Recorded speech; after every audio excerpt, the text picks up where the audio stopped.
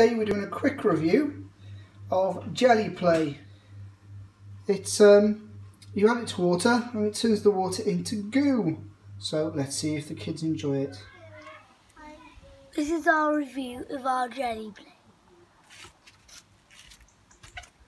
Okay, so we've added eight litres of water to the tub and now we add the whole pack of this.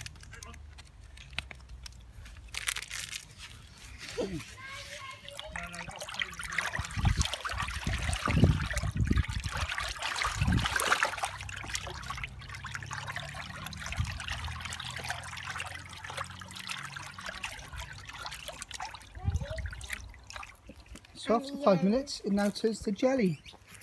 It's jelly. It's jelly, is it? Yeah. Pick some up then. I the boulder. There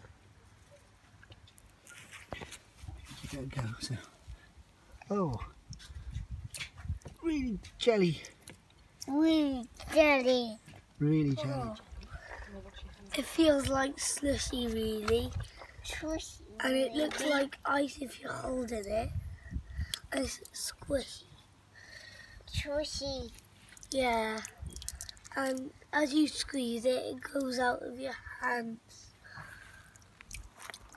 Like this. And it sounds like water falling. It sounds like it sounds like water falling Um, when it drops.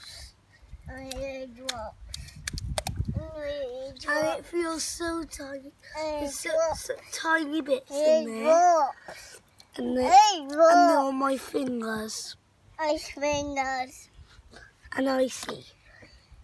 and icy. And if you're looking I through, sit out you got pink hands if you stick them into the bottom. So icy and feel squishy. How um, many thumbs up does just Gelli Play get? Jelly. Or 100. Jelly. 100 thumbs up. Yeah, 100%. How many thumbs up, Marv? Jelly. Juddy. She said Juddy. Yeah, that was 20. 20 thumbs up. Twenty. Okay, so they've had a couple of hours with the jelly. Just now a little bit all over the garden. And now, as you can see, it's still, it's still like a jelly. And now we add this to dissolve and turn it back into a liquid. So let's see how that works. Okay, so I've added some dissolving powder to it.